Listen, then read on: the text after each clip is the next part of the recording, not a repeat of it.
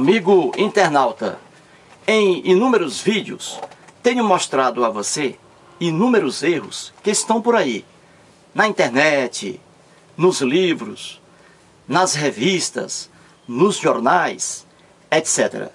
Estou aqui para mostrar a você mais um erro. Vamos aqui, um erro de língua portuguesa. Muito bem, tenho aqui a revista Isto É. Revista Isto É. Aqui está, do dia 27 de junho de 2012, desta semana.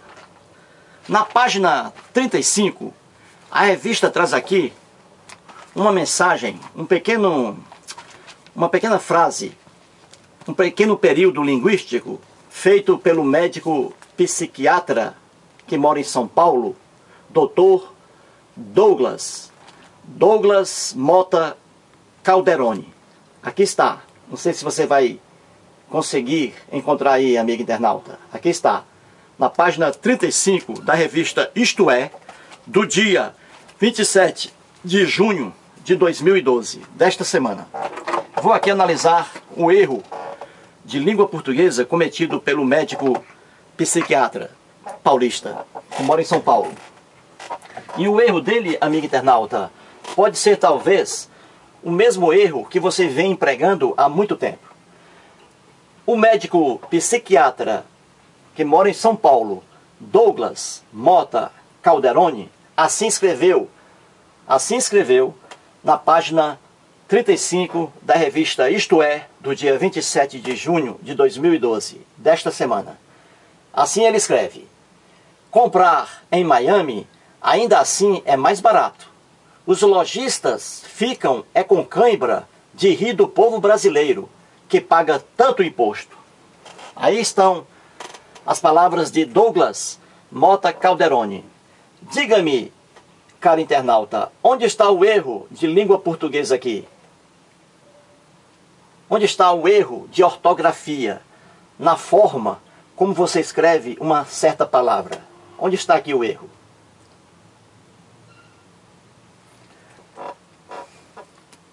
O erro, amigo internauta, está aqui, ó, na palavra cãibra.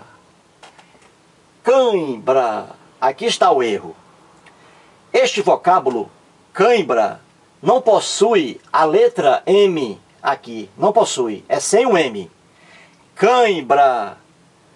Cãibra. É sem o M. É assim, ó. Cãibra. Tá? É assim, ó. Aqui está a ortografia, ó. Aqui está o correto, ó.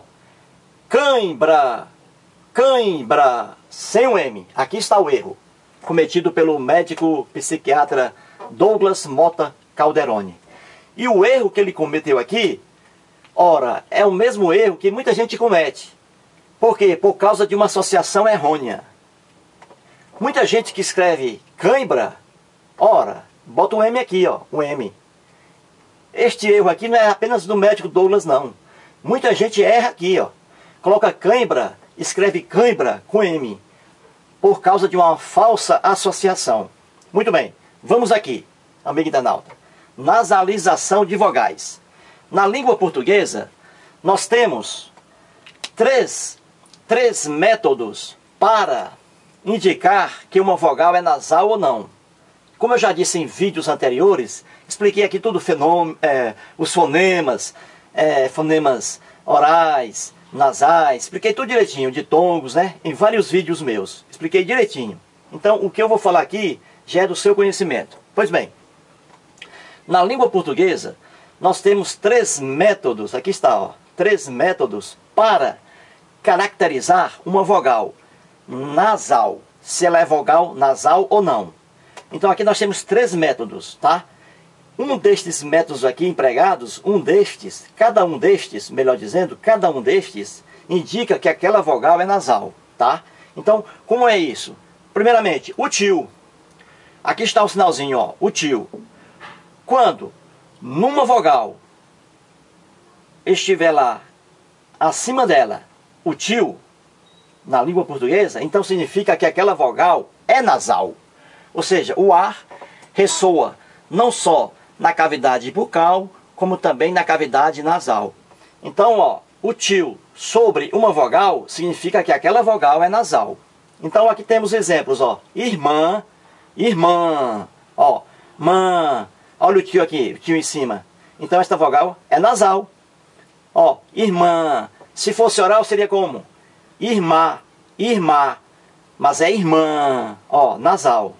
Aqui está cãibra, outro exemplo, ó. O tio sobre a vogal A, então é nasal. Como se pronuncia aqui, ó? Cãibra. Olha aqui, sem o M, ó. Cãibra, cãibra. O tio está sobre uma vogal A, então significa que esta vogal é nasal.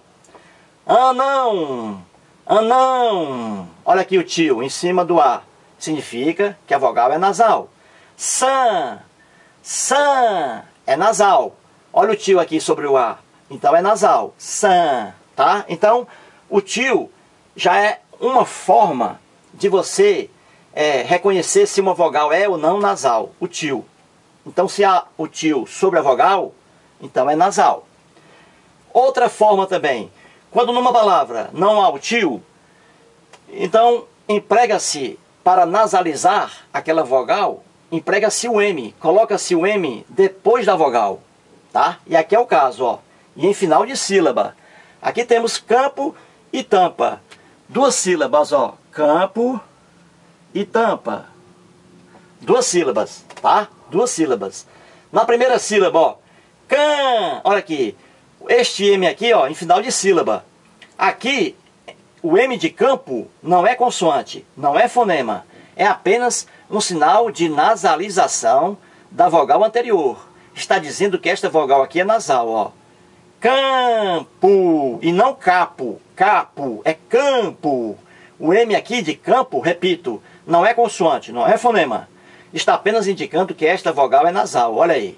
Então o M, depois de uma vogal em final de sílaba, não é consoante, é apenas um sinal de nasalização. É uma outra forma de mostrar que a vogal anterior é nasal. Tampa, a mesma coisa, olha aí. O M em final de sílaba, na primeira sílaba, depois de uma vogal. Significa que esta vogal aqui é nasal é um sinal de nasalização da vogal anterior. Olha aí. É mais um, um sinal de que esta vogal é nasal. Olha aí. Tá? Então nós temos aqui até agora o tio, né?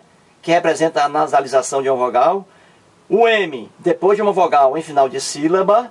Em final de sílaba, aqui está. Também é um sinal de nasalização de vogal. Olha aí. E o N também.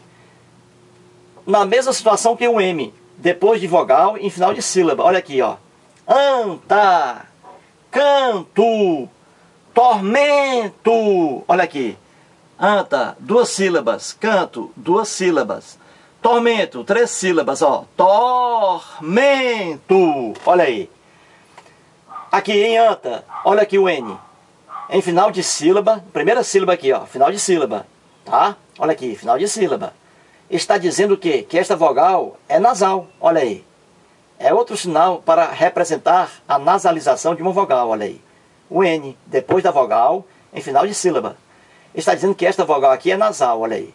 Tá? O N aqui em anta não é consoante, não é fonema. É apenas um sinal de nasalização de vogal anterior. Olha aí. Canto, a mesma coisa. Tormento, a mesma coisa aqui. Men, olha, men. O N, final de sílaba. Olha aí depois de uma vogal, está informando que esta vogal é nasal.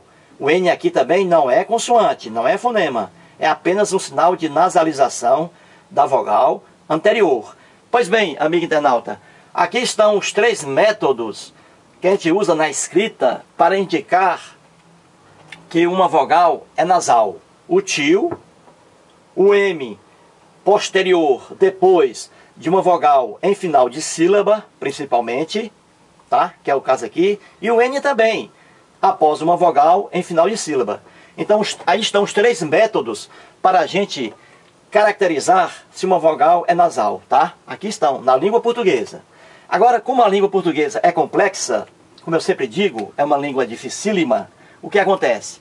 Nós temos uma palavra na língua portuguesa que é nasal, uma de suas sílabas é nasal, é nasal só que não vem representado nem pelo tio, nem pelo M posterior e nem pelo N posterior.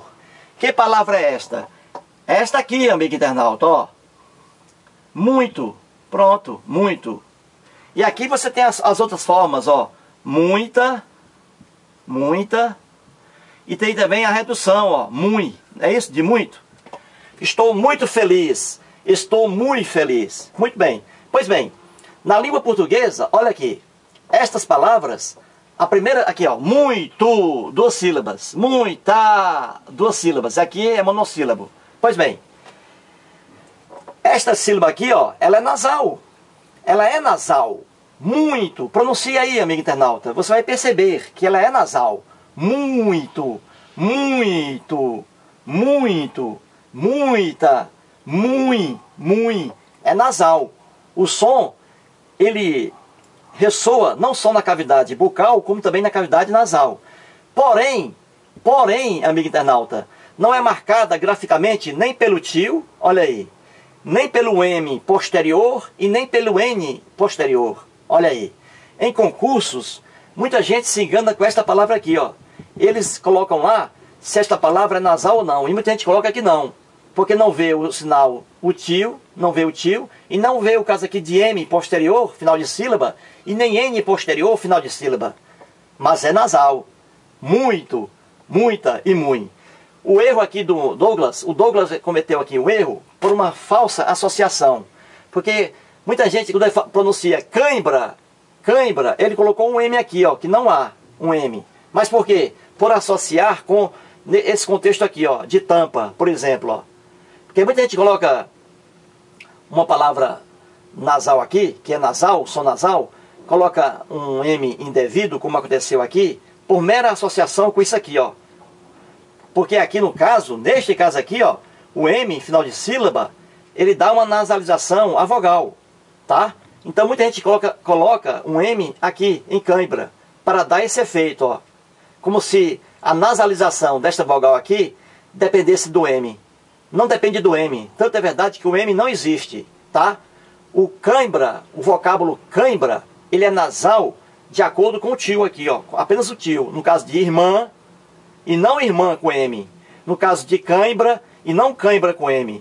No caso de anão, no caso de san e não san com M. Entendeu? Então foi essa associação de, com cãibra e tampa em final de sílaba aqui, M, em final de sílaba, que levou o médico a cometer o erro. Colocar M, a letra M, em cãibra, quando na verdade não existe. Muito obrigado.